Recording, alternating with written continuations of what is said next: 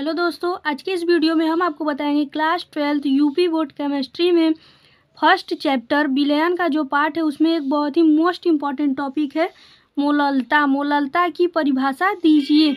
आइए बात करते हैं कि मोललता किसे कहते हैं। तो एक किलोग्राम विलायक में घुले विलेय के मोलों की संख्या को मोललता कहते हैं। मोललता में एक शर्त होता है कि जो विलायक होता है, वह एक किलो होना चाहिए और उसमें विलेय के मोलों की संख्या को मोललता कहते हैं।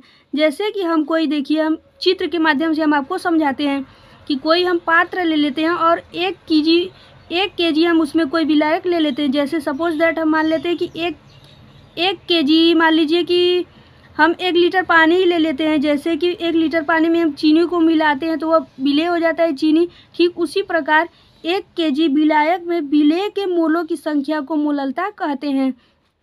देखिए जो मोल है ना केमिस्ट्री में मोल को, ये जो मोल है ना, पदार्थ की मात्रा को मोल में मापते हैं। जैसे कि किसी पदार्थ को देखिए, केजी में मापा गया है।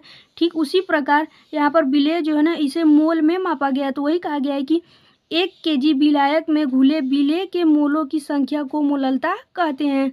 और देखिए, इसका सूत्र है मोललता बराबर बिले के मोल बटे विलायक का भार केजी में, क्योंकि शर्त है एक केजी होना चाहिए। आइए और आगे देखते हैं। तो ये रहा हमारा फाइनली सूत्र। कैपिटल एम मोललता को कैपिटल एम से प्रदर्शित करते हैं तो कैपिटल एम बराबर small W upon M into capital W यहाँ पर ग्राम वहाँ पर केजी था तो जब केजी को ग्राम में बदलेंगे तो एक हज़ार का गुड़ा हो जाएगा।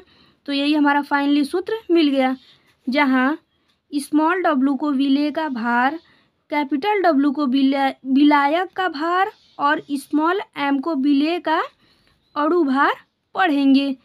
तो ये रहा हमारा फाइनली सूत्र। आप इसका स्क्रीनशॉट ले लीजिए और उम्मीद करते हैं कि आपको मोललता समझ में आया होगा।